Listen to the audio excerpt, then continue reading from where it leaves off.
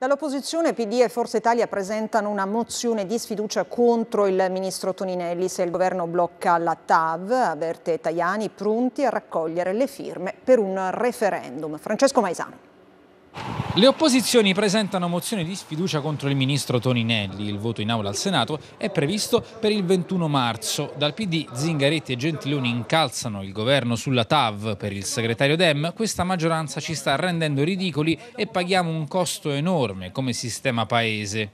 L'Italia si è isolata, è in difficoltà economiche, ha cambiato addirittura il suo profilo a livello internazionale. Quindi il lavoro del PD sull'onda anche della grande partecipazione alle primarie è quello di costruire un'alternativa credibile a questo governo. Gli ex premier Prodi e Letta applaudono l'elezione di Zingaretti, c'è stata la riscossa, ora si può chiudere con il passato, rilancia il professore, mentre Letta annuncia che dopo cinque anni riprenderà la tessera del PD.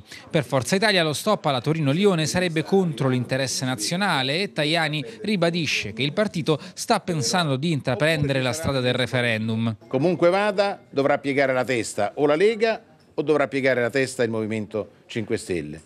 L'unico vero grande sconfitto sarà il nostro paese, saranno 60 milioni di cittadini italiani che non avranno un'opera infrastrutturale che li collegherà al resto d'Europa. Ogni rinvio è un danno per Fratelli d'Italia e il governo decida se puntare sullo sviluppo o arrendersi alla decrescita. La non costruzione di quest'opera eh, cancella la possibilità dell'Italia di essere presente di fatto sulla rete del commercio europeo per i prossimi decenni. Vuol dire eh, condannare l'Italia al terzo mondo.